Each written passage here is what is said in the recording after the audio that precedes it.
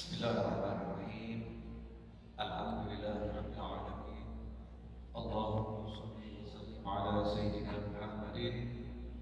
Uh.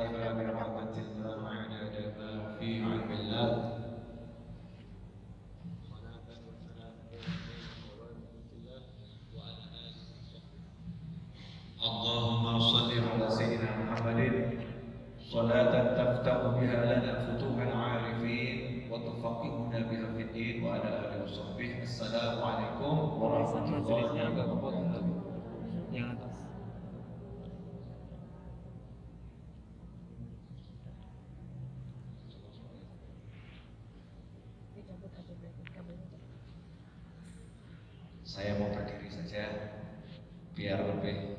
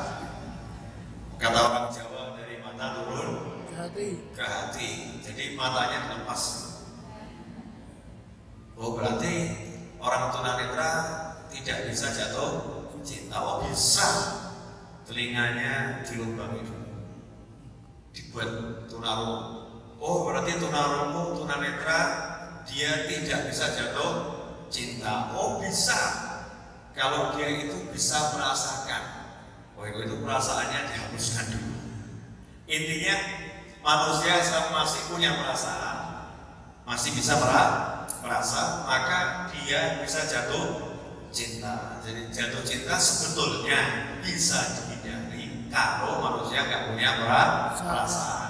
Dan itu sesuatu yang mustahil kecuali orang gila. Gak ada orang gila jatuh cinta. Yang ada orang gila gara-gara jatuh cinta. Betul kan? Karena orang gila sudah hilang akal, perasaannya hilang. Cinta itu sesuatu yang katanya indah, tapi sebagian orang mengatakan cinta itu menyakitkan. Cinta itu menya- menyakitkan. Sebetulnya cinta itu tidak menyakitkan kalau tidak mencintai diri. Tapi karena yang dicintai dirinya, maka cinta itu jadi menya- menyakitkan. Kenapa? Yang diinginkan nggak keturutan sakit. Tapi kalau cinta dalam hati sebetulnya indah, tidak akan menya- menyakitkan. Sakitnya itu enak. Contoh ibu mencintai anak, anak ibu hidungnya tersumbat karena flu. Ibu sedot, ya kan? Orang lain lihat sedot itu menjijikkan buat ibu itu suatu yang menggairahkan, yang menyenangkan, bersemangat, gak enak tapi ber, bersemangat karena ada cinta di sini. Nah, pertanyaannya, apakah Nabi Muhammad SAW pernah jatuh cinta? Sebetulnya ini pertanyaan bodoh, tapi menggelitik gitu ya. Pertanyaan bodoh tapi menggelitik. Lalu manusia yang paling punya perasaan itu Nabi Muhammad Sallallahu Alaihi Wasallam. Manusia yang paling sensitif itu adalah Nabi Muhammad Sallallahu Alaihi Wasallam. Sehingga kalau manusia yang paling sensitif nggak pernah jatuh cinta, nggak masuk akal. Justru cintanya luar biasa. Bahkan jati diri beliau sendiri, hakikat beliau sendiri, beliau adalah wujud dari cinta. Wa ma arsalnaka illa rahmatan lil alamin. Nah, ini rahmah ini di atasnya cinta. Nanti akan saya bahas. Ya, nanti akan saya bahas. Insya Allah waktunya bicara satu jam, tanya jawab setengah jam. Atau bicara satu jam setengah, tanya jawab setengah jam. Atau bicara dua jam nggak ada tanya jawab. Atau bicara satu menit tanya jawab dua dua jam. Wallahu alam. Saya nggak ngerti yang penting saya mau ngomong ngomong. Nanti ke depannya kita lihat seperti apa. Bapak ibu sekalian kita mulai dulu dari ayat wama laqad kana lakum fi rasulillahi uswatun hasanah. Sungguh untuk kalian semua dalam diri Nabi Muhammad SAW terdapat uswatun hasanah. Uswah hasanah contoh teladan model yang terbaik. Jadi tidak ada model lain tidak ada contoh lain tidak ada panutan lain yang lebih baik dari Nabi Muhammad Sallallahu Alaihi Wasallam. Jadi kalau mau yang terbaik, mau yang oke, sudah ada modelnya, sudah ada contohnya. Siapa contohnya? Baginda Muhammad Sallallahu Alaihi Wasallam. Saya pengen sukses jadi pengusaha, nggak usah repot-repot beli buku, datangkan motivator, motor boleh ya. Tapi nggak usah repot-repot beli buku, datangkan motivator. Kita seorang muslim, muslimah, mukmin, mukminah, Allah udah kasih lakukan kana lakum fi Rasulillahi uswatun hasanah. Mau sukses jadi seorang saudagar, seorang pedagang, contoh Nabi Muhammad SAW. Apa pun profesinya pernah dijalani Nabi Muhammad SAW. Keren. Mau sukses jadi pedagang jangan nunggu lulus kuliah. Muslim mau kerja kok nunggu lulus kuliah. Muslim mau kerja nunggu lulus kuliah ini ketinggalan zaman. Nabi Muhammad SAW kerja umur 12 tahun. 12 tahun sudah ekspor sampai ke Syria, sampai ke Syam. Umur 12, 12 tahun. Anak kecil sudah eksportir. Itu Nabi Muhammad SAW. Nah, ini mas-mas, ibu-ibu, bapak, bapak-bapak, umur sampai sekian, apa nih kerjanya? Ya jangan berdalih, oh, umat Islam terus banyak zikir. Umat Islam tuh zikir banyak, gak usah disuruh, memang harus. Seperti orang kerja, orang kerja ya, gak usah disebut harus sarapan, makan siang, makan malam. Gak usah dipikir itu ya, makan siang, makan malam, sarapan itu sudah bagian dari kehidupan. Ya, kerja ya kerja, makan siang, makan siang, ada porsinya sendiri, sendiri. Dikir ya dikir yang banyak, cari ilmu, cari ilmu yang banyak. Ke masjid ya ke masjid yang sering. Tapi jangan kemudian mengatakan gak perlu bekerja. Ya, atau gak, gak usah makan bekerja. Kerja ini sunnatul ambiya. Para nabi itu bekerja. Nabi Dawud bekerja, Nabi Sulaiman bekerja, Nabi Zakaria bekerja. Masing-masing punya peker, pekerjaan. Kecuali pada tataran usia tertentu memang tidak boleh bekerja.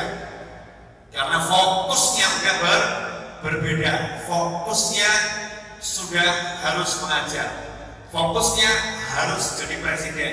Masa Pak Jokowi yang mohon maaf ya, saya mau cuti dua bulan mau ngurusi perusahaan megol saya ya nggak pas gitu kan ya oh bapak udah pak fokus saja jadi presiden nanti negara yang memberikan gaji negara memberikan gaji waktu bapak berharga. Waktu bapak sangat dibutuhkan oleh negara. Karena itu fokus saja kepada presidennya tugasmu. Nah pada tataran tertentu orang-orang soleh para ulama usia tertentu yang begitu. Bukannya nggak mau bekerja bukannya nggak bisa bekerja. Tapi memang usianya harus ngurus masa masyarakat, harus fokus pada tugasnya di saat itu. Umur 12 tahun Nabi Muhammad SAW sudah ekspor luar negeri. Terus cara kerjanya bagaimana? Gak ngambil untung banyak. Yang dikejar apa? Pelayanan. Servisnya oke, okay. servis oke, okay. penampilannya oke. Okay. Coba perhatikan, servis oke, okay penampilan oke, okay. kemudian eh, pelayanan tadi sudah ya, kejujuran, kejujuran dalam kerjanya itu nomor nomor satu sampai dapat julukan sejak kecil Al Amin. Emang Nabi Muhammad SAW dapat julukan Al Amin karena apa? Ya karena bekerja, kerjanya jujurnya luar luar biasa, jujur, kemudian uh, humble, secara pribadi oke, okay, servisnya oke, okay, harga barang paling murah, harga barang paling paling murah, kualitasnya bagus. Sekarang saya mau nanya, seandainya di Jogja ada seorang muslim buka toko, seorang muslim buka toko, harga barang paling murah, harga barang paling murah. Kemudian kalau ada cacat ditukar tanpa syarat, ada cacat ditukar tanpa syarat. Dan kalau barang yang cacat dikasih tahu, ini barang KW2, ada catatnya di sini. Kalau yang normal sekian, yang cacat itu sekian. Saya mau nanya, kira-kira laris juga laris? Laris. Akhirnya orang pada ke situ enggak? Pada ke situ. Hasilnya apa? Untungnya dikit tapi omsetnya besar. Ya, omsetnya besar. Sehingga orang kan ngomong, kamu kalau beli barang di sana saja, kamu beli baju di sana, kamu beli di sana, kamu beli di sana. Semua orang memiliki al-amin, al-amin, al-amin, mau al-amin, al-amin. Umur 12 tahun. Sementara kita bangun bisnis sampai sekarang bingung cari model. Model untuk siapa ya? Saya buka toko contoh siapa? Udah itu kalau contoh dari Nabi dijalankan selesai-selesai. Barokahnya ada, duitnya akan banyak. Cuma kita mikir, untungnya dikit apa ya cukup buat mengcover? Apa ya cukup buat ini? Kebanyakan nih pikir dan perhitungan. Beda dengan orang-orang yang uh, apa namanya sukses-sukses itu. Memang untungnya sedikit sedikit. Omsetnya luar biasa. Kepala kita nggak bisa kejar contoh gojek gojek itu kalau dihitung beneran dari mana itu untungnya betul ya betul kan tapi semua orang pakai Grab Gojek, Grab Gojek, Grab Gojek. Semua yang pakai dari mulai kan murah loh pakai Gojek, murah loh pakai Grab. Aplikasi online itu murah. Yang dikejar kesan itu murah, kemudian amanah. Kalau sampai supirnya nggak benar bisa tuh, ya dilaporkan bi, bisa. Barang apa tinggal di situ bisa itu diblokir itu armadanya bisa. Jaminan, aminnya kan dapat orang. Dan sekarang kita mau kerja sukses tapi nggak mau mencontoh Nabi Muhammad SAW. Sementara yang lain mencontoh Nabi Muhammad Wasallam. Dan itu cuma sedikit. Mau jadi uh, pemimpin yang sukses. Saya mau jadi kepala sekolah yang sukses. Caranya bagaimana? Contoh Nabi Muhammad SAW. Saya mau jadi guru yang sukses. Caranya bagaimana? Contoh Nabi Muhammad SAW. Saya mau jadi apa pun yang sukses sampai jadi pelayan yang sukses contoh Nabi Muhammad SAW. Saya mau jadi penggembala yang sukses, contoh Nabi Muhammad SAW. Kenapa begitu? Uswatun hasanah. Beliau sudah dicetak sama Allah untuk jadi sampel, untuk jadi model yang terbaik. Makanya selalu beliau SAW melakukan hal-hal yang sederhana yang bisa ditiru oleh orang yang paling bodoh dan orang yang paling paling lemah sekalipun tapi hasilnya menyebabkan penirunya menjadi orang yang luar biasa. Kebanyakan orang nggak menerapkan sesuatu yang punya kelas sendiri, hanya orang-orang berkelas yang bisa meniru. Yang kelas bawah nggak bisa ditiru. Kalau Nabi Muhammad SAW ambil kelas yang paling rendah, kelas yang paling rendah, sehingga orang lemah, orang bodoh, orang susah bisa meniru, tapi hasilnya luar luar biasa. Dan termasuk di antaranya yang berkaitan dengan Nabi jatuh cinta kalau mau tiru jadi suami yang terbaik, ya tiru Nabi Muhammad SAW. Kalau mau punya rumah tangga yang terbaik, tiru rumah tangga Nabi Muhammad SAW. Kalau mau punya keluarga yang terbaik, tiru keluarga Nabi Muhammad SAW. Nabi punya 11 istri dan semuanya dicintai. Punya 11 istri dan semuanya di, dicintai. Ini kadang punya satu istri pun tidak di, dicintai. Betul kan? Punya sebelas istri, semuanya dicintai. Nah, ini kalau mau contoh Nabi Muhammad SAW, rumah tangga adalah sakinah mawaddah warahmah. Sakinah diambil lintas gunung ilaiha agar engkau bisa mendapatkan tempat bersandar di pasanganmu, tempat bersandar nyaman tenang di pasanganmu. Ini tujuan dari rumah rumah tangga. Tapi yang menjadi kendaraannya apa? Ja'ala bainakum Allah menjadikan di antara kalian semua mawaddah warahmah. Mawaddah warahmah. Cinta dan kasih sayang. Cinta dan kasih sayang. Manusia yang paling punya cinta siapa? Nabi Muhammad SAW. Manusia yang menjadi sumbernya kasih sayang siapa? Nabi Muhammad SAW. Berarti istri yang paling dicintai siapa? Istrinya Nabi Muhammad SAW. Istri yang paling disayangi siapa? Istrinya Nabi Muhammad Sallallahu Alaihi Wasallam. Apa kita nggak penasaran melihat bagaimana cara Nabi SAW mencintai? Apa kita nggak pernah penasaran bagaimana cara Rasulullah menyayangi? Dan sayangnya kita baca Romeo and Juliet, Shakespeare pelajari ya, atau Siti Nurbaya dan lain sebagainya. Tapi jatuh cintanya Nabi Muhammad SAW kurang dipelajari. Seakan-akan gak ngetren ya kisah cinta kok kisah cinta Nabi. Ini saya akan buat ngetren dikit. Nabi pun jatuh cinta. Ciri-ciri orang yang jatuh cinta suka menyebut namanya, menyebut pribadinya, gitu kan? Kita lihat istri pertama Nabi Muhammad SAW, Sayyidah Khadijah. Pertanyaannya, bagaimana Nabi jatuh cinta pada Khadijah? Gitu kan? Jawabannya sederhana, karena Khadijah juga pandai membuat Nabi jatuh cinta kepadanya. Ya, Khadijah pandai membuat Nabi jatuh cinta kepadanya.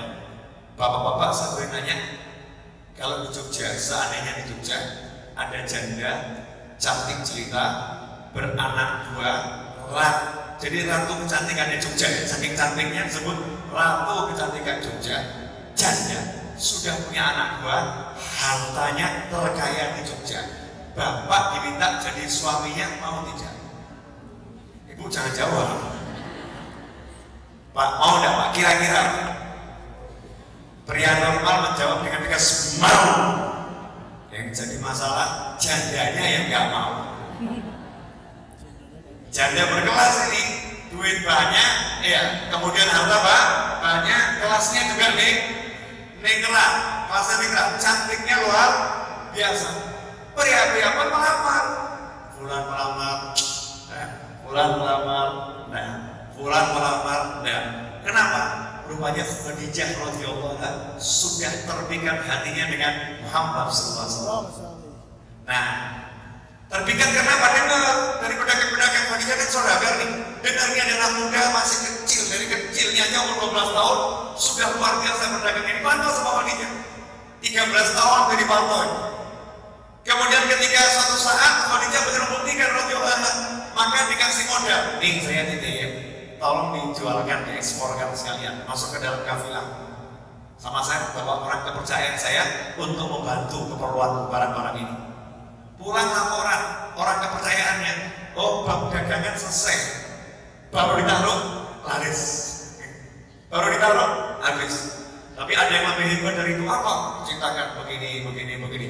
Semakin jatuh cinta.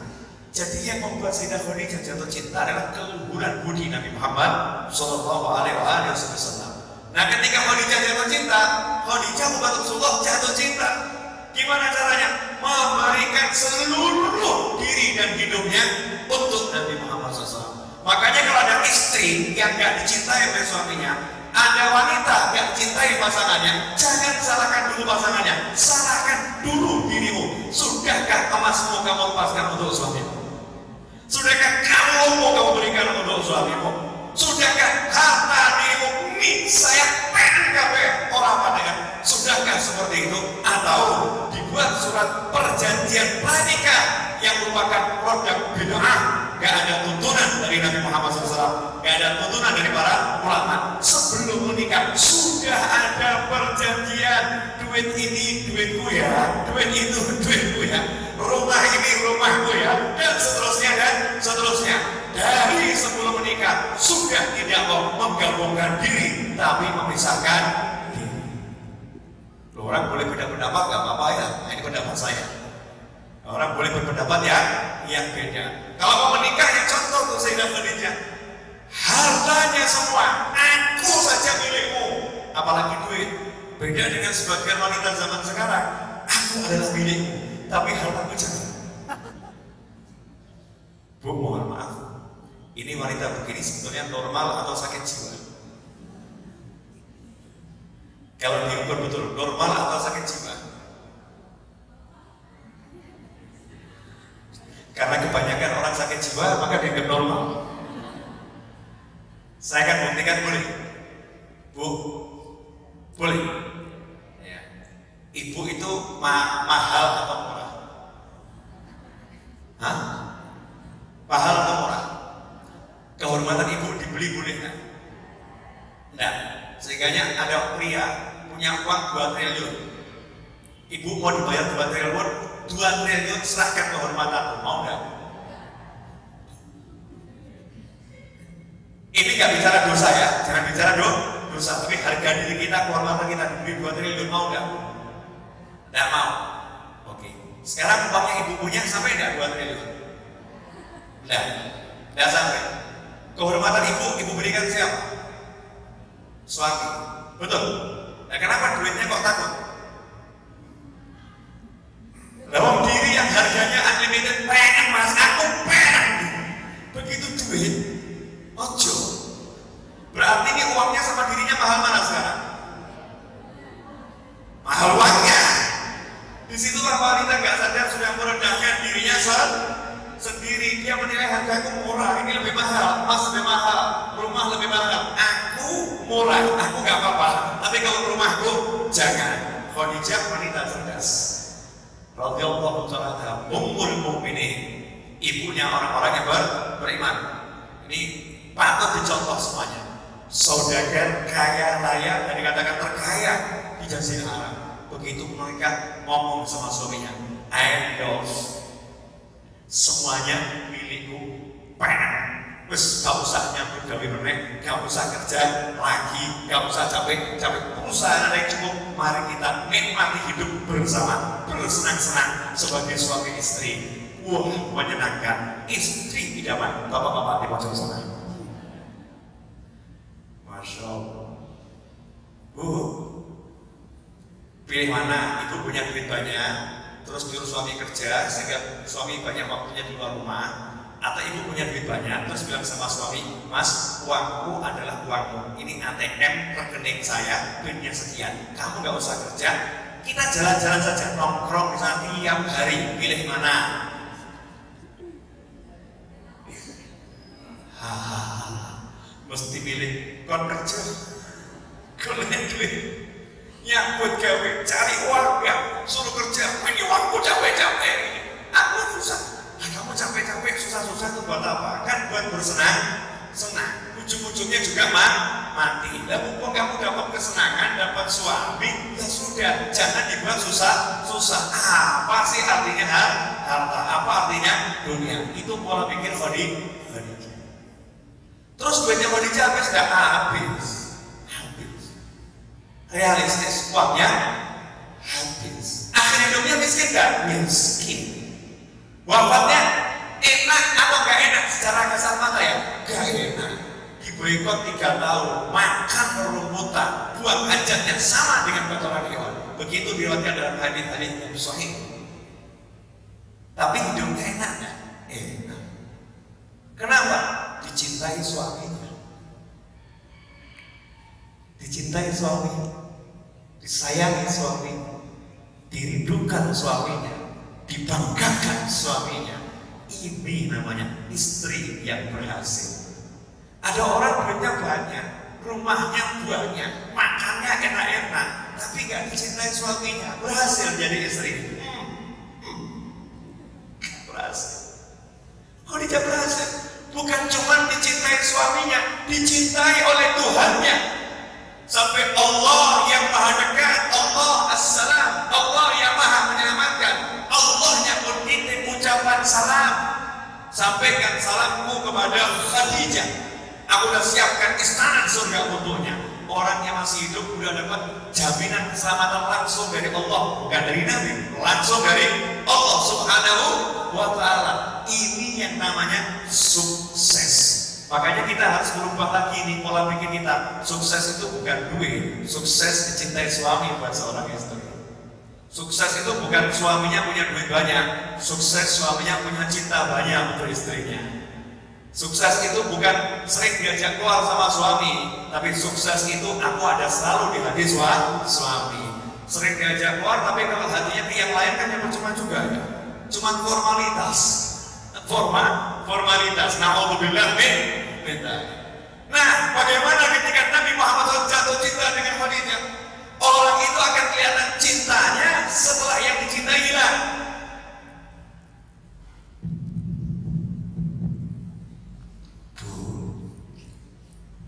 Seandainya yang ibu cintai hilang, alias pindah ke alam baka, apakah engkau masih mencintainya? Saya nggak nanya masalah menikah lagi dan menikah lagi lebih cinta ya, cint, cinta. Bapak-bapak, kalau istri bapak nanti setelah panjang umur, ya meninggal dunia itu adalah husnul khotimah insya Allah. Apakah bapak masih mencintai? Enggak ya. Semua ucapan harus ada buktinya ya, harus ada buktinya. Coba kita lihat Bagaimana Nabi Muhammad SAW setelah Khadijah meninggal? Dunia? Tahun wafatnya Khadijah setelah 1400 tahun? Julukannya tidak pernah dirubah oleh Nabi, tidak pernah dirubah oleh para sahabat. Amul Huzn. Julukan tahun itu setelah Nabi hijrah, ya, setelah Nabi wafat, zaman sahabat, zaman tabi'in, zaman tabi'ut tabi'in, zaman 2017, akhir zaman sampai warga Yogyakarta tidak pernah merubah nama tahunnya Amul Huzn. Betul kan? Tahun kesedihan. Coba tahun kesedihan. Kekasihku wafat, sayangku wafat, istriku wafat, cintaku wafat, cinta nggak ada di samping padahal Nabi Muhammad SAW itu surga nggak ada hijab lihat ke surga alam bangsa itu kelihatan ruh itu kelihatan malaikat itu kelihatan dengan bola mata beliau yang mulia. Kelihatan semuanya. Yang seperti itu merasa kehilangan. Merasa kehilangan. Orang dikubur diseksa nanti bilang bahwa ini dua orang lagi diseksa? Bukan karena dosa besar menurut mereka berdua. Yang satu suka mengadu domba yang satu kalau buang air kecil dia tidak membersihkannya dengan dengan benar air setir boleh tidak tutup ketika buang air kecil dan seterusnya dan seterusnya. Lihat orang diseksa kubur. Lagi sholat berhadap Rasul menjulurkan tangannya ke depan kita lihat lagi. Sahabat nanya ya Rasulullah kenapa tadi waktu sholat begitu? Rasul bersabda surga didekatkan kepadaku aku melihat buah-buahnya mau kau ambil kutunjukkan kepada kalian aku teringat ini yang begini kan pasti dikembalikan lagi nggak jadi. Coba itu Nabi Muhammad SAW yang begitu ya sebetulnya kan istrinya nggak hilang ya. Mau bisa lihat kok ya? Nggak hilang. Tapi merasa kehilangan. Wafat kan meninggal dunia hilang. Ya kan? Beda beda alam tapi seorang Nabi Rasulullah SAW kan beliau nggak ada hijab. Bisa lihat yang lain biiznillah dengan izinnya Allah Subhanahu wa taala itu merasa kehilangan. Karena alamnya berbeda berbeda. Kedekatannya lain. Nggak bisa meluk lagi. Nggak bisa apa tidur di pangkuannya lagi bisa suap-suapan lagi beda. Rasul nangis sampai amul huzun. Tahun kesedihan. Tahun kesedihan.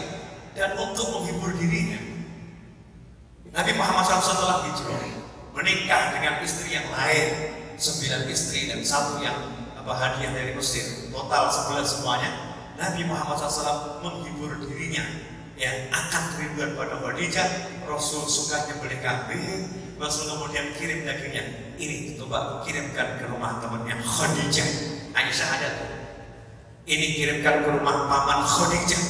Ini kirimkan ke tempat bibi Khadijah. Sehingga kalau ada bibinya Khadijah atau saudarinya Khadijah itu datang ke rumah Rasulullah suaranya mirip Rasulullah Khadijah. Mirip suaranya Khadijah dengar orang suara mirip Khadijah. Dengar kepada Khadijah datang sambutannya lebih dari yang lain. Kenapa? Ini teman sayangku ini. Ini orang yang suaranya mirip dengan sayangku ini. Gak pernah dilupakan sudah meninggal dunia. Sudah hijrah. Sudah punya sepuluh istri yang lain. Yang satu yang wafat yang pernah dilupakan. Sekarang istrinya masih hidup punya istri yang lain yang hidup sudah dimatikan Betul ibu ibu? Kok betulnya seperti pengalaman? Coba bayangkan Nabi kita Muhammad SAW. Berarti ini pria yang cintanya biasa atau luar biasa? Luar biasa. Sudah meninggal istrinya. Sembari kambing kirim sana. Nah ini juga jadi dalil. Kalau ada orang bilang nggak boleh buat berkatan untuk yang meninggal dunia gitu ya. Nah itu jelas salah karena Nabi sendiri buat berkatan untuk istri yang sudah meninggal dunia. Yang boleh kambing hadisnya selain sebagai kambing bagi-bagi baca atau saya bawa itu. Ya seperti itu dibagi daging untuk sana untuk sana. Makanya kalau mengamalkan amalannya orang-orang soleh itu gak usah bingung semua ada dalilnya. Cuman orang-orang soleh itu udah males bahas dalil. Ngapain sih berdebat? Ya suka amalkan gak usah, gak suka sekarang mau gitu aja. Gak usah repot, repot. Nah ini Sayyidah Khadijah radhiyallahu taala mencintai Nabi seperti itu di Khadijah ya. Dalam kasus yang sama, sementara hatinya milik Khadijah, aku sudah cemburu. Sayyidatuna Aisyah sampai ngomong, engkau sudah diganti dengan yang lebih muda, gadis dan lebih cantik dan lebih baik. Kenapa masih menyebut Khadijah? Cemburu, diskusi ngobrol. Apakah Rasulullah SAW kemudian diam? Kemudian jadi gak enak hati? Oh iya, ini ada istriku yang lain yang enak ada buat istriku yang itu. Oh nggak bisa. Ini about love. Tentang cinta. Tentang orang yang juga punya jasa. Maka Rasul iklankan, saya tidak pernah mendapatkan ganti. Iya lebih baik dari yang Khadijah. Aisyah, hatinya muka nggak peduli. Iya, saya Aisyah itu muka nggak peduli. Harus fair. Saya tidak pernah diganti seorang wanita yang lebih mulia dan lebih baik dari Khadijah. Darinya aku punya anak semua. Darinya keturunanku. Dia bantu aku di kala aku susah. Rasul sebutkan banyak hal. Di situ Aisyah akhirnya kemudian sadar kalau ingin buat Rasulullah cinta, maka dia juga harus ikut mencintai Khadijah lebih dari yang, yang lain. Di situ, ya jangan bersaing sama Khadijah, bersaing sama yang lain. Kalau sama Khadijah nggak mungkin menang, tahu diri saya saudara, pun di. Aku akan jadi pemenang, pemenang yang masih hidup saja, jangan melawan yang sudah meninggal dunia. Nah itu senior itu, itu saya senior, mencintai Nabi luar biasa. Tunduk untuk Sayyidatuna Aisyah radhiyallahu taala anha. Coba suami zaman sekarang punya istri dua, terus cinta sama istri yang pertama atau istri yang keempat, punya empat istri gitu. Kemudian istri yang satu dijelek-jelekan, berani nggak bela?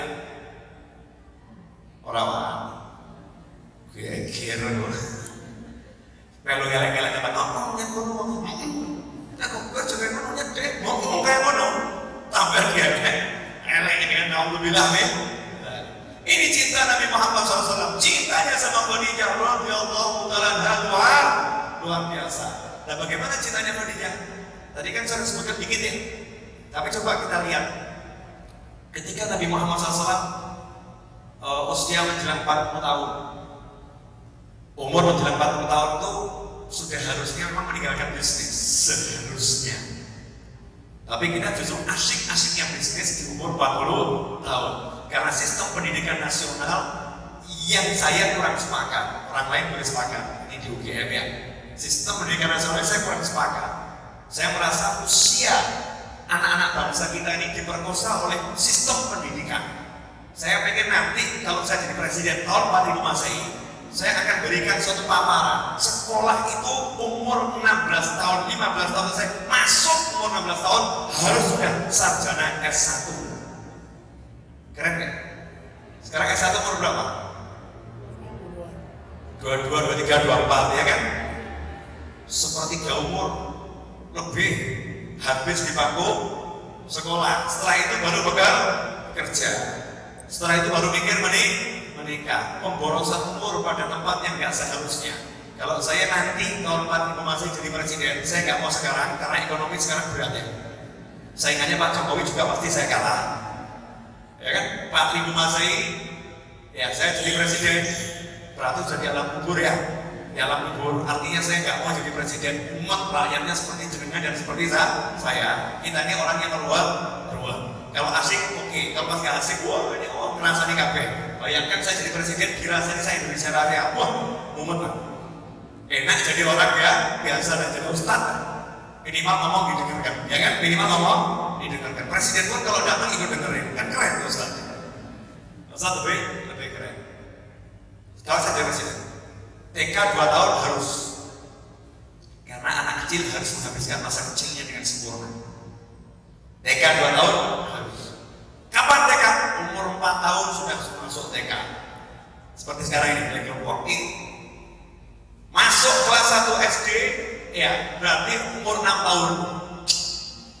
Umur 6 tahun kelas 1 SD berapa tahun SD SD cukup 3 tahun. SD cukup 3 tahun. Sekolah dasar. Berarti 6 tambah 3 berapa? 9 tahun kemudian SMP SMA SMP SMA cukup 3 tahun. 9 ditambah 3 berapa? 12 tahun. Kemudian kuliah berapa tahun? cukup 2 tahun. 14 tahun. Masuk usia balik 15 tahun S1 telah kelas sedikit dia 16 tahun. Sehingga bangsa saya. Sebagai presiden saya akan punya tenaga kerja anak-anak muda pinter-pinter kritis-kritis dan energi. Itu merupakan pasukan yang luar biasa. Jangan lupa sudah mulai untuk akhir. Sudah ini kan kemampuan berpikir sudah mulai itu turun. Kenapa? Menjelang 4 40 menjelang 40 nanti akan saya ubah ya semoga ini terwujud entah di tangan presiden siapa sehingga itu pos biaya pendidikan nasional turun. Sehingga anggarannya di DPR nanti untuk pendidikan juga nggak usah besar besar. Dan saya tidak setuju dengan buku tulis nggak setuju. Dengan adanya diterbitkannya buku nanti dijual nggak setuju. Saya sebagai presiden akan menghemat pengeluaran negara. Jadi seluruh buku dari Depdikbud itu harus berwujud PDF yang bisa diunduh oleh seluruh rakyat saya di mana pun ber keren. Korporate saya presidennya. Mau ngomong ini gampang mas. Pokoknya kalau bicara itu mudah. Nah kita kembali ke Nabi Muhammad SAW nggak tahu nih kok keluar ke sana ya? Sayyidah Khadijah coba. Menikah dengan Nabi Muhammad SAW Rasul usia menjelang 40 tahun. Nah kita sekarang ini menjelang 40 tahun entah ke mana. Coba kita hidup tuh sampai berapa tahun tuh 60 70 tahun. Jadi kalau kita ambil umur 60 tahun umur 60 tahun orang 40 tahun hidupnya cuma tinggal sepertiga. Hidupnya tinggal seper sepertiga. Saya mau nanya sama bapak sama ibu tolong dijawab jujur. Kalau besok pagi bapak ibu mau berangkat haji. Besok pagi mau berangkat haji. Hari ini bapak ibu diajak pergi mancing. Mau tidak? Ya mau. Ngapain siap-siap. Packing. Buku-buku doa dikumpulkan. Benar kan? Cari ini kartu yang kira-kira bisa aktif main WA di sana. Facebookan di sana dikumpulkan ini. Ya persiapan. Kenapa? Hampir berangkat. Sudah hampir berangkat. Umur 40 tahun itu sudah hampir berangkat. Hampir mati. Belum sadar Baliki aku mati, awakmu yodo mati. Sebentar lagi akan meninggal dunia kita semua tinggal 20 tahun. Kalau umurnya 40 tahun, nah kalau umurnya 60 tahun, cedak. Ngantri ini cedaknya luar biasa. Makanya orang-orang dulu tuh pandai memanage hidupnya. Kita ini manajemen bagus ya, manajer ngatur perusahaan bagus, ngatur warungnya bagus, tapi ngatur hidupnya gak bagus, umurnya gak disiapkan, mati itu bagaimana? Saya punya teman, anaknya itu jadi murid saya kemarin di Jakarta, tiba-tiba jam 9 lebih saya dapat WA kaget. Teman saya ini bapaknya ini meninggal dunia, umur 57, 57 tahun. Saya tanya, saya telepon istrinya, saya telepon gimana jenazahnya? Belum ketemu. Loh, maksudnya belum ketemu bagaimana? Meninggalnya di jalan. Ini telepon orang di jalan di mana? Di musola yang biasa beliau mampir kalau pulang dari kantor. Jadi cantiknya pulang dari kantor yang dipikirkan sholat. Pulang dari kantor tuh macet yang dipikir yang penting sholat maghrib isya aman. Jadi punya musola langganan daerah Cibubur sana.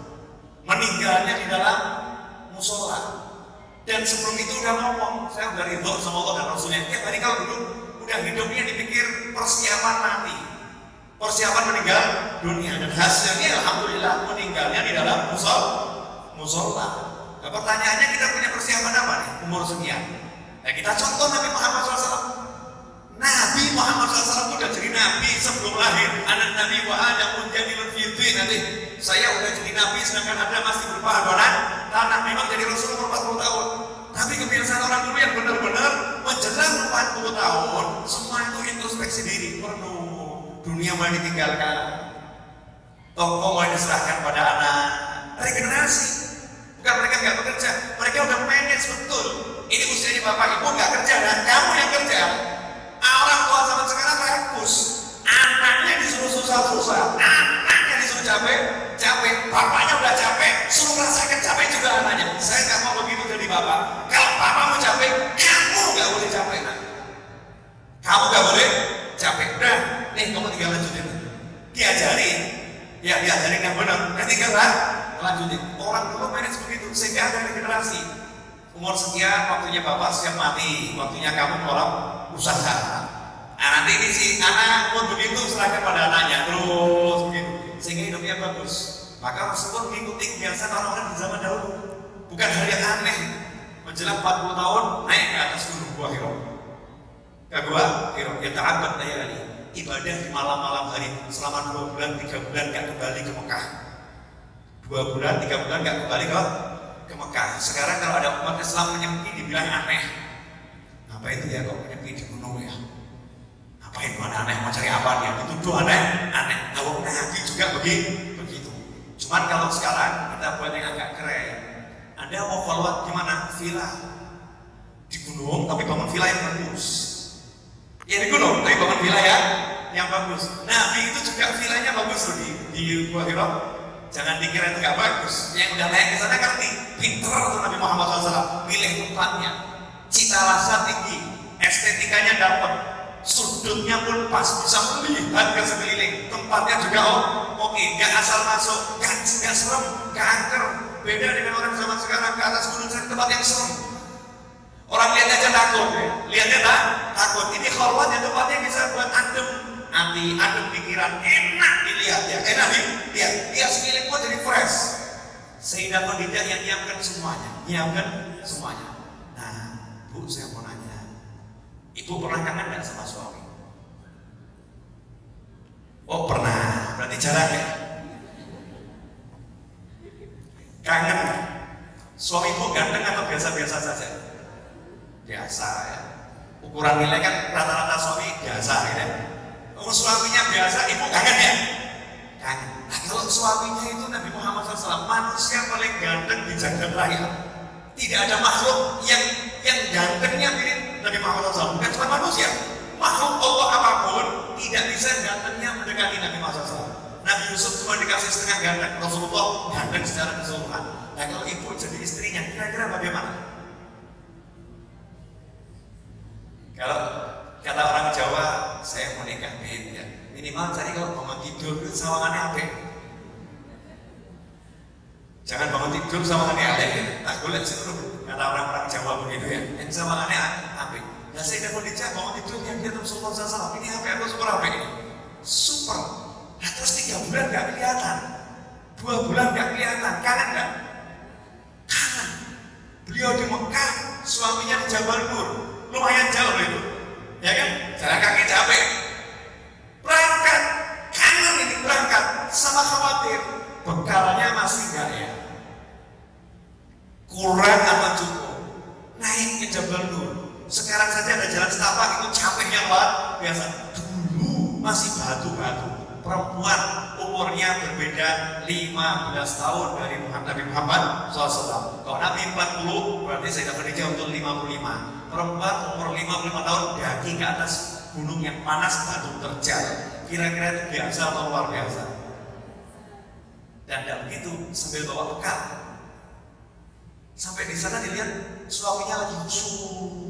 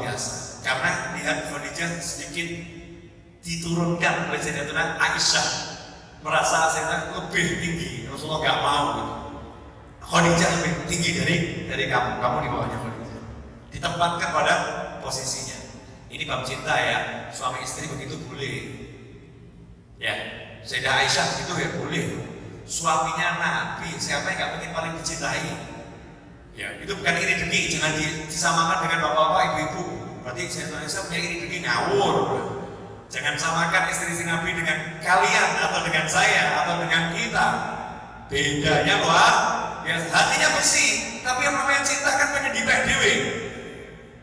Udah toh, saya lebih dari dia tanpa niat untuk menyingkirkan, paham ya? Saya lebih baik dari dia, kamu tinggal lebih baik ini loh. Begitu saja Rasulullah menunjukkan marahnya. Enggak, saya tidak pernah diganti lebih baik dari Khadijah. Radhiyallahu taala Bapak Ibu hadirin semua dimuliakan Allah Subhanahu wa taala. 45 menit barusan saya. Ya, enaknya ngomongnya satu jam atau dua jam? Manut. Saya ini belum belum bicara banyak lah ya, baru di apa? Kulit. Baru di di kulit. Dari cerita ini kan kita udah bisa membayangkan ya, kalau Nabi Muhammad SAW pria yang punya cinta yang tak pernah luntur, cinta yang tak pernah luntur. Nah, kalau cintanya ibu ini pernah luntur nggak? Luntur atau pudar?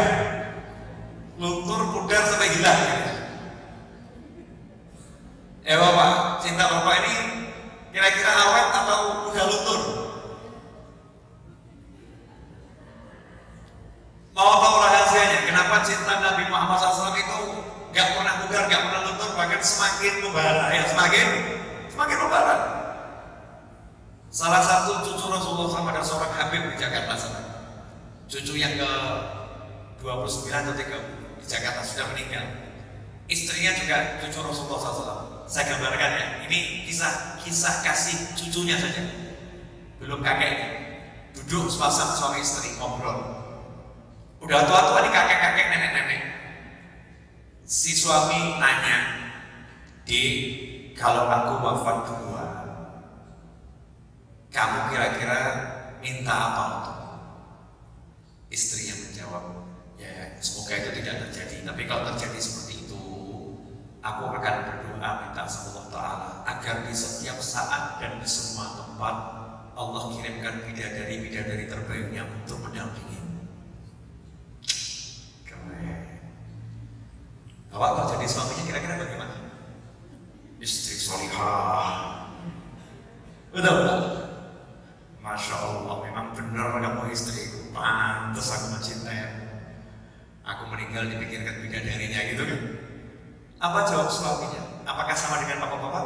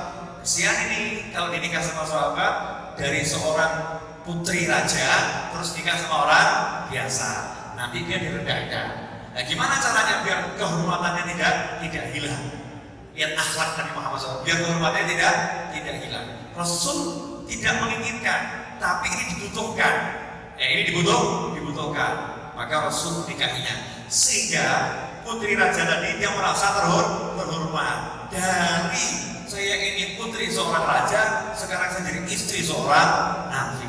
Di kaumnya pun jadi mulia, sehingga kaumnya masuk Islam. Nabi kita cerdas. Ya, nah kebanyakan bapak-bapak itu kan menikah lagi karena pengen atau karena butuh. Oh ibu yang jawab. Ibu yang jawab. Karena pengen atau karena butuh? Maaf, nah itu. Yang tahu yang pribadi masing masing. Makanya kalau mau mencontoh Nabi Muhammad SAW, ya nomor satu didahulukan karena kebutuhannya untuk apa menikah lagi. Makanya saat Sayyidah Khadijah masih hidup, Rasulullah SAW nggak menikah lagi kan? Khadijah saja, bukan nunggu Khadijah meninggal dunia, salah juga itu. Kadang ada ustaz tuh ceramah begini tuh lihat tuh Rasulullah SAW, dia menikah lagi nunggu Khadijah meninggal dunia. Wah, jawab nih suaminya, biasanya di di Arab-Arab matimu ya, biar bisa rapi menang. Jadi kamu pengen saya jadi suami yang mengharapkan kematianmu biar saya bisa menikah lagi. Alhamdulillah, min. Karena ketika di masa dengan Khadijah memang belum ada kebutuhan untuk menikah lagi. Yang dibutuhkan buat apa? Ya tidak dibutuhkan untuk kedua Islam. Khadijah sudah cukup saat itu. Ya saat itu. Setelah hijrah kondisinya beda, alamnya beda, tantangannya beda, perluasan Islam, ketemu orang yang macam-macam, maka diperlukan menikah lagi sesuai kebu kebutuhan, bukan karena keinginan. Ini yang harus dipahami sama umat Islam. Jangan sampai nanti jadi umat Islam kena pikir orang-orang Barat yang nggak suka sama Islam dibilang nabinya suka kan kawin. Nauzubillah min. Dan sekarang saya cegah. Tadi cuma istirahat dulu sebentar iklan. Kalau itu sama Khadijah, kalau mencintai itu nggak kenal umur, nggak kenal umur. Nabi 25 jatuh cinta sama umur 40, jauh lebih tua. Makanya itu nanti kalau anak ibu mau menikah, seorang laki-laki mau punya mantu ibu perempuan umurnya lebih tua, jangan dianak lagi. Masa awak atau perawat tuh isin itu. Jangan begitu. Siapa tahu yang tua ini bisa mencintai anak ibu lebih dari yang, yang muda. Mestinya ibu lihat saja ketakwaannya oh bagus orangnya takwa insya Allah nak barokah sakinah mawadah rahmat lanjutkan itu orang tua yang jaga. Nah kebanyakan sekarang anak muda jadi rusak gara-gara orang tuanya mau nikah dihalangin, mau nikah dihalangin, akhirnya zina. Akhirnya zina. Dan kadang itu aneh, ada pernikahan yang dikritisi, tapi perzinahan nggak pernah dikritisi. Ya kan pernikahan dikritisi, saya kamu nyebut, Anda akan paham sendiri. Pernikahan dikritisi, tapi kalau perzinahan nggak pernah dikritisi. Anak muda kebo nggak pernah dibahas. Anak di bawah umur kumpul kebo nggak pernah dibahas. Giliran ada anak-anak di bawah umur menikah, nanti semua jadi viral. Kalau menikah hal yang yang baik. Dulu bapak-bapak dan ibu-ibunya, bapak-bapak dan ibu-ibu menikahnya usia dini atau usia lanjut?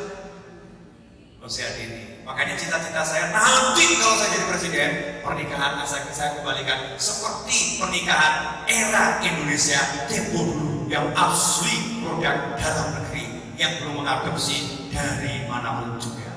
Setuju ibu? Dan nanti ibu-ibu masya Allah, anak ibu umur 10 tahun siap-siap menikah, keren itu kalau presidennya saya. Otomatis perzinaan berkurang, kumpul-kumpul berkurang, sehingga rahmat akan turun. Kalau sekarang ya ikuti undang-undang yang ber berlaku. Ya, undang-undangnya juga nggak salah.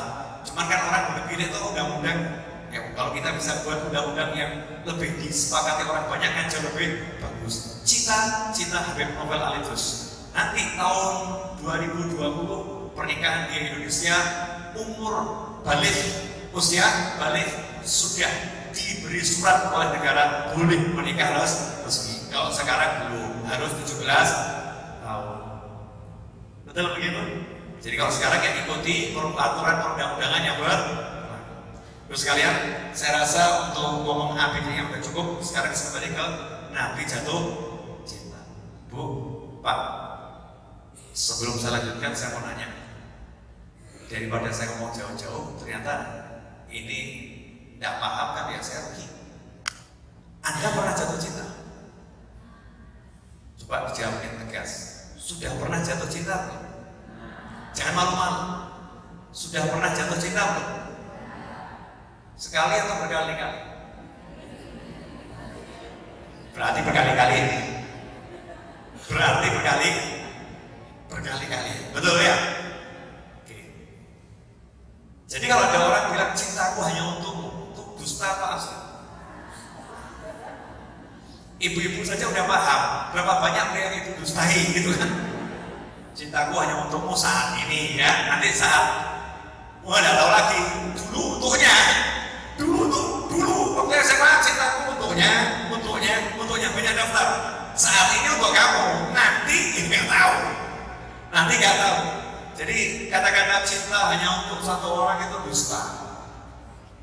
Ada itu adanya di sinetron ya di sinetron di novel dalam kehidupan nyata hati manusia ini mudah jatuh cinta hati manusia mudah jatuh cinta tapi memang kalau perempuan itu sekali jatuh cinta memang susah berubah itu perempuan ya karena perempuan dominan rasanya luar biasa kalau laki-laki dia logikanya main jadi hatinya itu juga dituntut sama logika ya hatinya jatuh cinta. Nanti kalau terserah dia buat jatuh cinta, dia timbang-timbang enak yang dicinta yang mana gitu ya. Ini laki-laki, makanya hati-hati bu berhubungan sama laki laki karena logikanya mah. Tapi Nabi Muhammad SAW manusia yang sempurna, perasaannya sempurna, logikanya sempurna, jatuh cinta. Ya kira-kira yang dicintai itu rasanya seperti apa? Ini yang perlu kita rasakan. Rasa orang yang mendapatkan cintanya Nabi Muhammad SAW.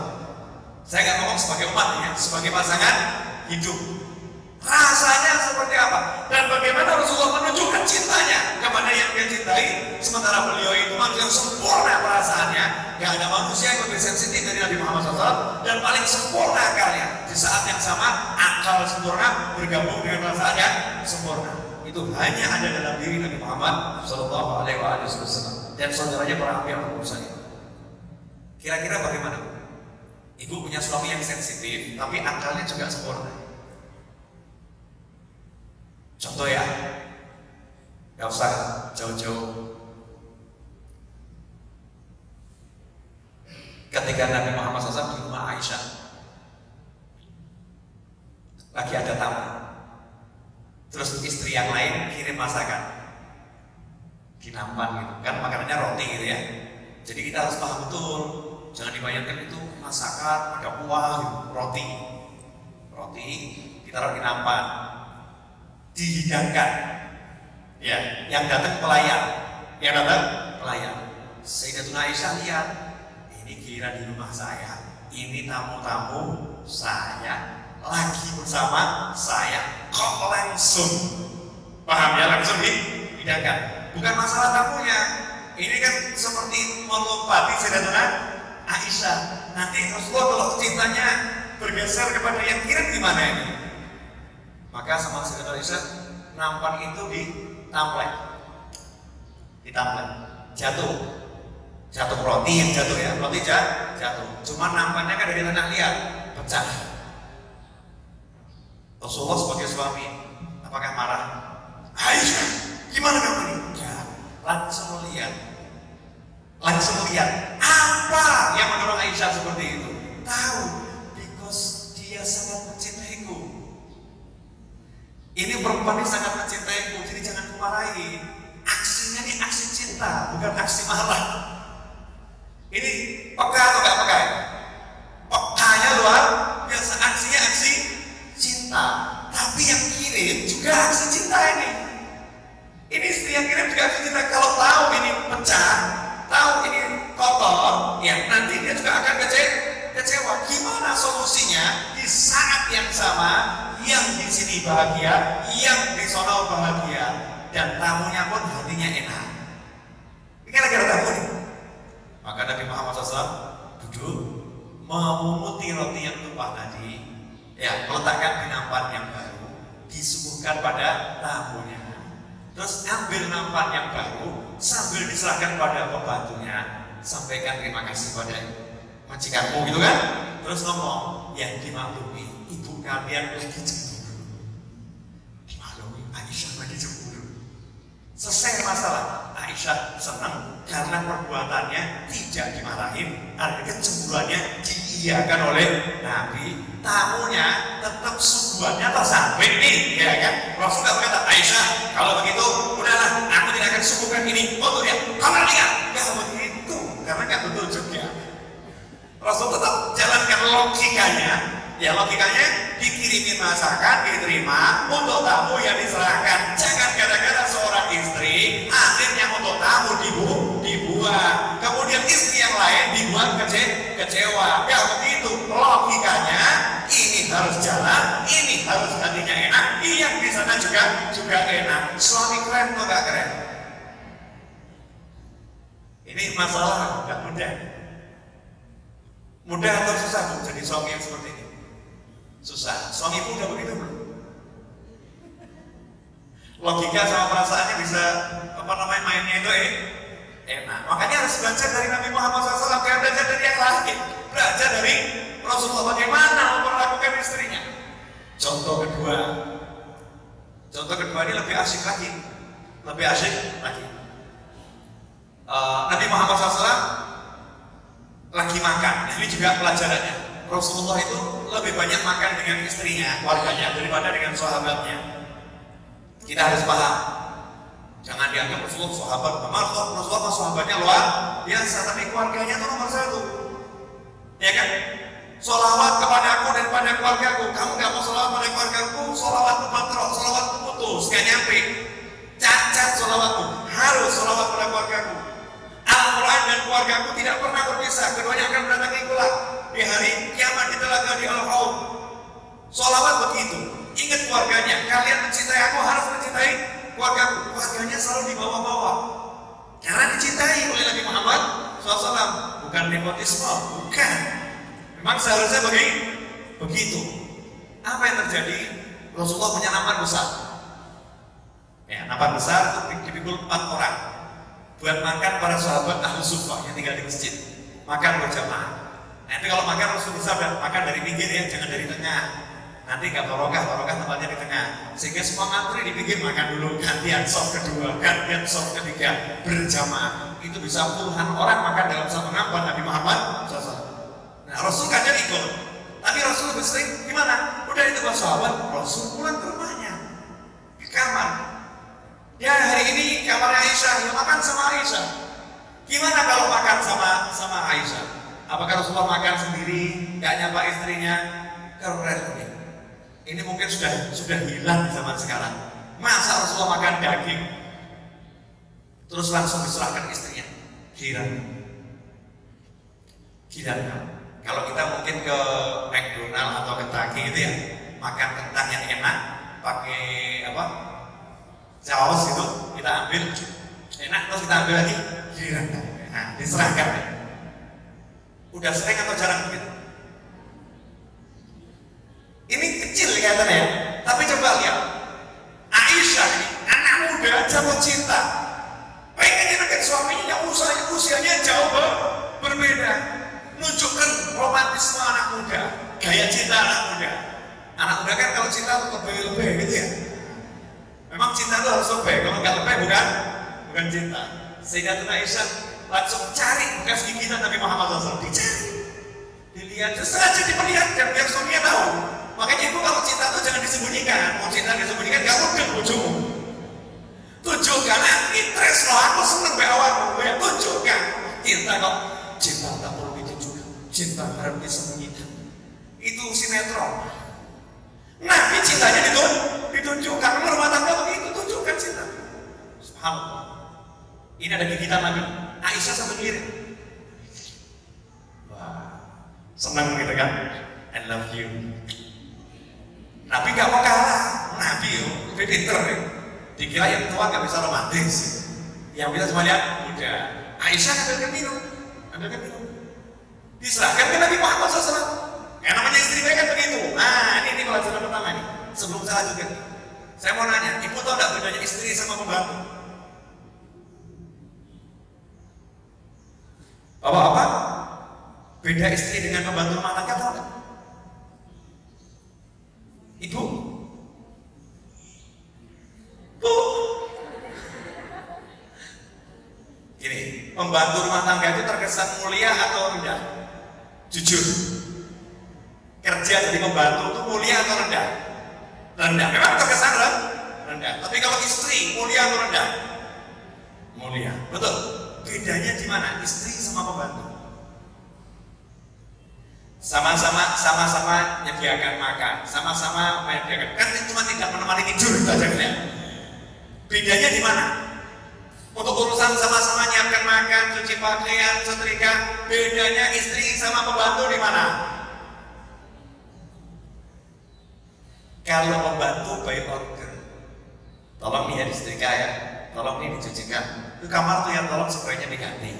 Ya tolong ini tolong tolong tolong itu pembantu. Ini harus kamu jaga. Kalau istri suaminya baru duduk tahu suaminya itu suka kopi pulang kerja pak kopinya istri. Jadi istri itu bukan by order tapi melayani. Kalau pembantu diperintah melayani. Makanya Rasul mengatakan pemimpin suatu kaum adalah yang bisa melayani, bukan yang diperintah malah melayani, yang bisa melayani. Jadi kalau melihat seperti itu, kira-kira selama ini ibu ini statusnya istri atau pembantu? Kalau istri nggak pakai di perintah. Kalau masih di perintah-perintah artinya pembantu.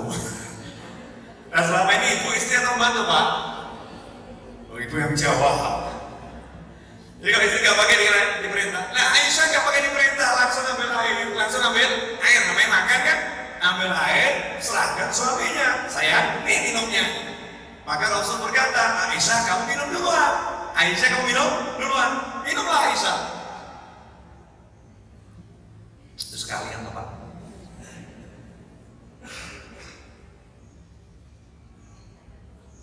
Cuman Aisyah tahu diri, yang minumannya dihabiskan gitu kan, support dikit gitu.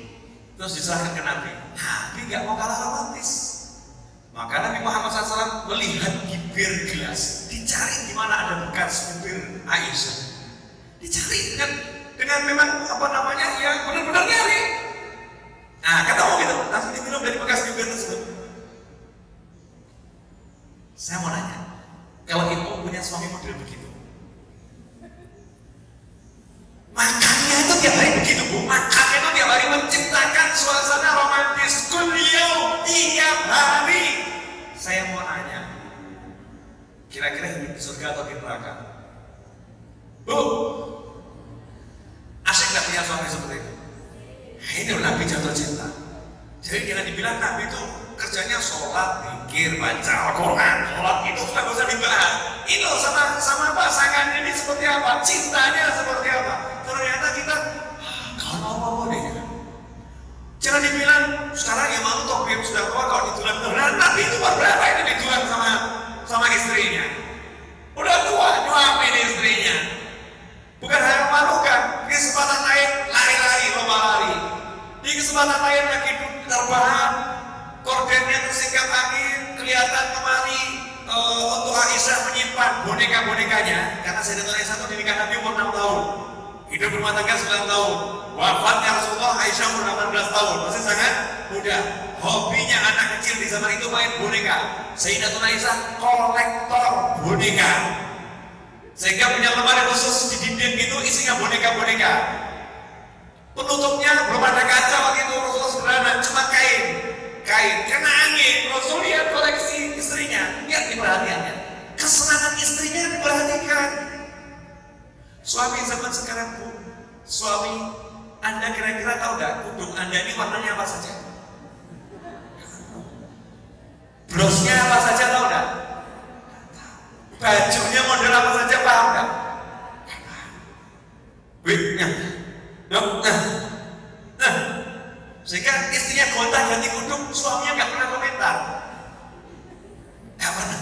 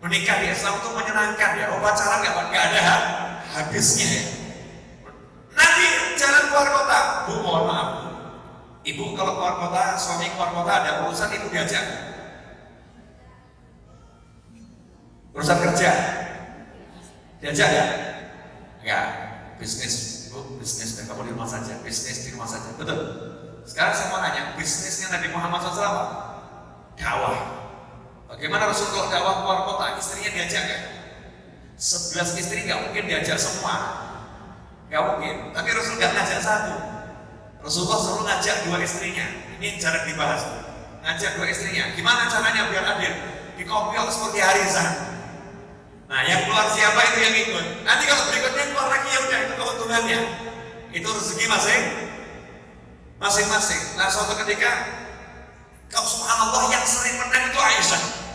Jadi Aisyah itu sering sekali ikut Nabi keluar dakwah. Kopioknya itu begitu keluar sama istri yang lain. Nah istri yang lain ini sudah berpengalaman. Kalau Aisyah anak kecil yang polos, anak kecil yang polos, nggak berpolitik. Nah kalau yang istri yang lebih tua itu udah pandai berpolitik dari ibu-ibu dia. Berpolitik sama suaminya, sama pasangannya. Maka ngomong istri yang tua ini, yang usianya tua ya, ngomong ke Sayyidatuna Aisyah. Uh, Aisyah ya, kan biasanya kalau Rasulullah jalan istrinya kan dipisah dipisah dua pasukan gitu dan dipisah dua jalan. Itu strategi militer Rasulullah biar nggak diketahui Rasul ada di mana. Nah, biasanya nanti kita kan dipisah nih. Kamu ikut rombongan sana, saya ikut rombongan sini.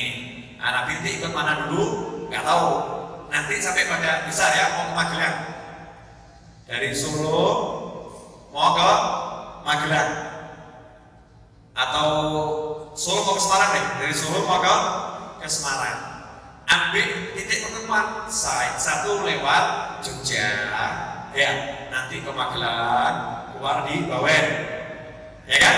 Yang satu langsung dari Solo Boyolali Solo Tigo Bawen nanti ketemu di Bawen istirahat. Istirahat ganti lagi. Gantian. Yang tadi ikut sama Rasul gantian Rasul ikut sama yang lain. Dipecah dua lagi nanti ketemu di, di Semarang. Satu lewat jalan tol satu lewat jalan biasa. Itu strategi Nabi Muhammad SAW. Nah menariknya di sini, istri yang lebih tua ini ngomong kepada Aisyah, wah Aisyah, kalau lewat Jogja, kamu kan sudah pernah. Yang lewat Solo Tigo, kamu kan belum pernah. Oh iya belum pernah. Jadi kita tukar kendaraan.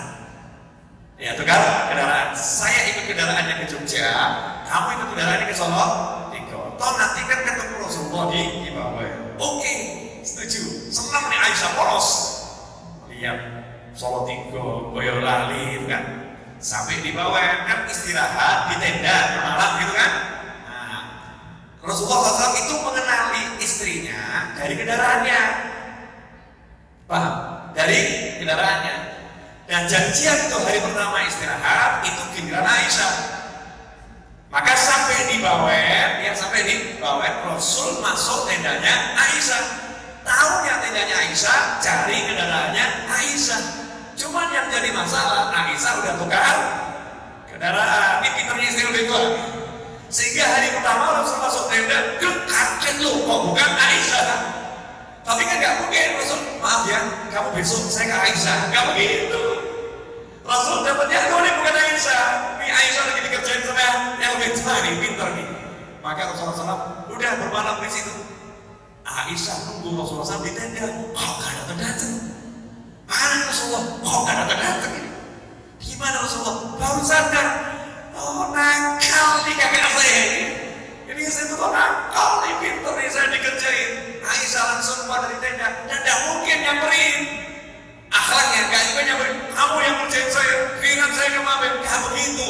Ini pola permainan kecerdasan. Aisyah mengaku, saya kena pinter ini. Maka Aisyah pun buat siasa, gimana caranya Nabi Muhammad SAW keluar dari tenda menghampiri beliau. Maka Sayyidatuna Aisyah cari rerumputan yang paling tebal. Rumputan yang keluar, beliau julurkan kakinya di situ, beliau tendang-tendangkan sama Allah, kenapa saya kalah gitu kan? Sambil berdoa, ya Allah kirimkan kalah jengking ya Allah. Kirimkan kalah jengking biar nyengat saya ya Allah. Maksudnya kalau ada kalah jengking nyengat, nanti akan teriak, ya Allah, saya disengat kalah jengking. Sampai seperti itu Aisyah. Ini asik tuh asik ini. Asik romantis. Tidak ada marah, tidak ada musuhan, tidak ada.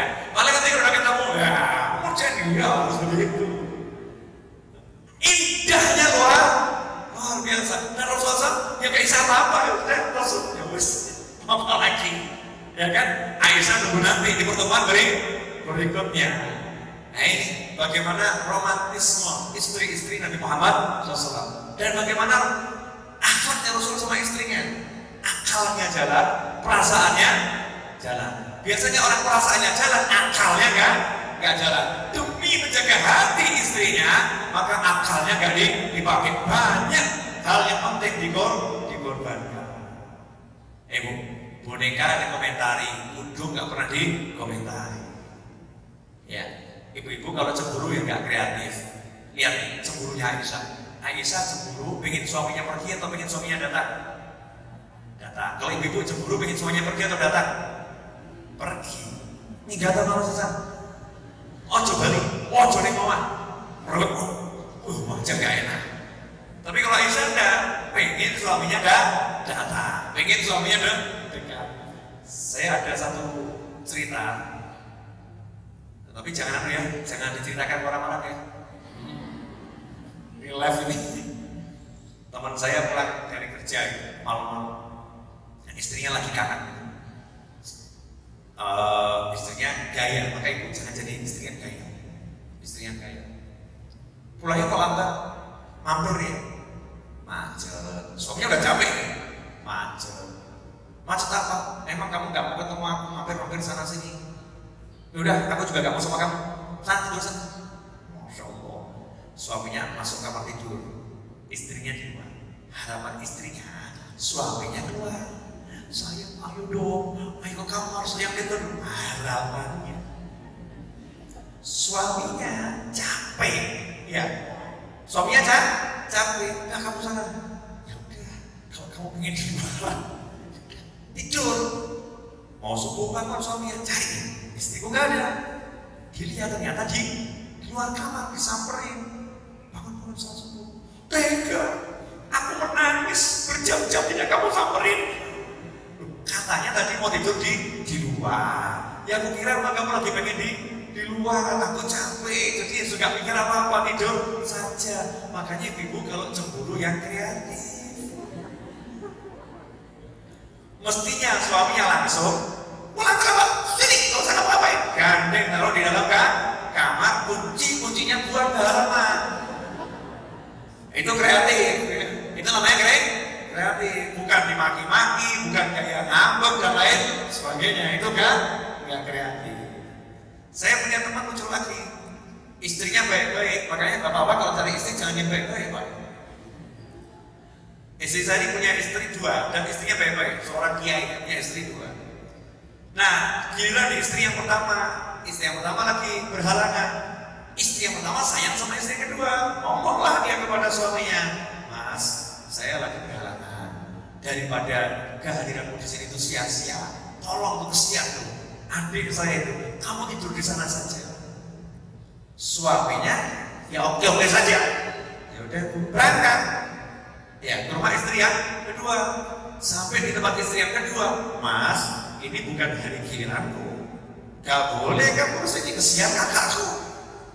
Aku gak mau mengambil hari kakakku. Kamu kembali mas ke istri yang pertama akhirnya dia pulang ke rumahnya tapi tidur di halaman nah lewatlah seorang ibunya ini nanya lu Gus kenapa tidur di halaman nasib ibu juru apa-apa ya gini ke sana diusir, ke sana diusir. Repot pak, makanya kalau cari istri jangan yang baik. baik. Kaki ente seperti seperti itu. Bu, udah bisa merasakan cintanya Nabi Muhammad SAW kepada istrinya? Kayak dikit saja jatuh cinta. Nah, untuk menutup, karena udah jam 11, saya udah ceramah berapa jam nggak tahu ya. Nanti tanya jawab boleh ya. Tapi saya mau satu tutup dengan satu cerita kisah nyata untuk orang yang punya istri dua. Sabar dulu. Habib cerita istri dua. Nanti anda akan mengerti. Seorang bapak-bapak jalan itu ketemu temannya, penampilannya rusuh luar biasa. Rusuh. Tanya sama sahabatnya, kamu kenapa stres begini? Kurus rusuh. Saya dari neraka jahanam. Dari mana? neraka jahanam maksudmu rumahku adalah nerakaku kalau begitu bujuku bualan remotan welek mulai di rokok jadi nak buat aku aku teko di aku teko rokok dan temennya juga tidak mau sahabat ini stres ya kan ngomong ya kalau begitu kamu nggak usah mikir istri muda nggak usah bilang kamu nikah lagi kamu nikah lagi senangkan hidupmu di bangsa stres loro yang iso ngurusi anakmu. Rabi meneh. Benar, iya. Ojo ngomong. Siap. Ketemu setelah nikah lagi, gimana? Nah, cocok yang ini. Yang ini menyenangkan. Oh gitu, Alhamdulillah. Tiga bulan kemudian ketemu di jalan, dilihat lungsutnya lebih. Diparani. Loh, mas, kenapa kamu lebih lungsut dibanding yang pertama? Dari mana dan mau ke mana? tekon rokok, mainan merokok menjahannam ila jahannam saya dari neraka mau ke ke neraka lagi iso awalnya pakai terapi lot seminggu rusak luweh ngeri kalau di sana bentaknya paling pas yang itu pas luweh ngeri dari neraka ke neraka makanya bapak-bapak kalau mau menikah nikah satu mikir juga itu surga atau neraka. Nah kalau sudah ada neraka, mau cari surga mikir dulu betul-betul surga atau jangan-jangan lebih neraka lagi. Hati-hati. Paham tuh itu maksud saya? Nah itu warning buat yang di sini warning. Hati, hati. Nah Nabi Muhammad SAW beliau cintanya luar biasa kepada semua istri, sangat mencintai.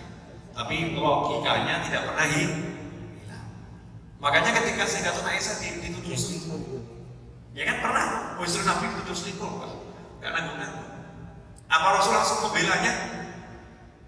Apa Rasul juga langsung membenarkannya? Logikanya jalan. Gimana logikanya jalan? Tanyalah kepada orang-orang yang paling dekat sama istrinya yang bisa dipercaya. Gimana pendapatmu tentang istri? Gimana pendapatmu tentang istri? Satu-satu ditanya. Pembantu yang sama menipu orang baik. Maka kalau nanya sama istri jangan nanya sama orang lain, apalagi sama musuhnya. Ya, tanya sama pembantu yang di rumah tuh lihat tiap hari gimana nih? Nyonyamu gimana? Nyonyamu gitu. Maka lihat tuh ya tiap hari itu. Jawabannya semua baik. Giliran Sayyidina Ali ditanya nih menantunya Rasulullah, gimana menurut Aisyah? Sayyidina Ali jawab, tidak usah bingung ya Rasulullah. Ya, pokoknya ya baik-baik, tapi tidak usah dibawa ke, ke hati baik timur. Kalau mau nikah lagi juga banyak perempuan ya Rasulullah, tidak usah bingung. Jadi Sayyidina Ali ingin menguatkan hatinya Rasulullah SAW. Dia Rasulullah betul-betul tidak terpengaruh oleh berita yang ter tersebar. Sayyidina Ali berkemudian mengusulkan, coba kamu tanya sama yang dampingi yang ke mana-mana sama Aisyah, kamu tanya itu ya Rasulullah. Nanti pendapat itu apa itu? Yang apa namanya bisa dipegang bil mana begitu. Rasul pun sarannya menantunya ini diikuti. Hasil begitu. Logikanya jalan, hatinya walaupun cintanya meluap-luap luar luar biasa. Pengen membela. Saudara Rasulullah membela. Siapa yang menyakiti uh, aku dengan menyakiti keluarga aku maka gitu kan langsung salah seorang sahabat ngomong. Ya Rasulullah kalau itu yang memerintah dari kalangan kami akan kami beginikan. Tapi kalau dari kalangan sahabat itu akan kami bunuh. Kelompok sahabat itu ya Rasulullah kamu kenapa bilang mau bunuh? Tapi kalau kamu sendiri tidak bunuh mau ribut antar sahabat. Rasulullah turun dan jadi sudah biarlah istri saya difitnah biar sampai Allah yang bela. Seperti itu. Logikanya jalan artinya nggak bukan orang bertiga karena is istrinya. Ya kan? Kemudian juga tidak mau apa namanya mengikuti perasaannya. Semuanya ditempatkan pada tempatnya. Sampai kata pembelaan dari Allah Subhanahu wa taala. Pokoknya setiap episode kehidupan Rasul bersama keluarganya itu kalau kita pelajari ada hikmah-hikmah yang luar biasa dan kelihatan betapa cintanya Nabi Muhammad sallallahu alaihi wasallam. Itu yang bisa saya sampaikan. Kalau ada yang mau nanya, monggo dan semoga tidak ada. Amin.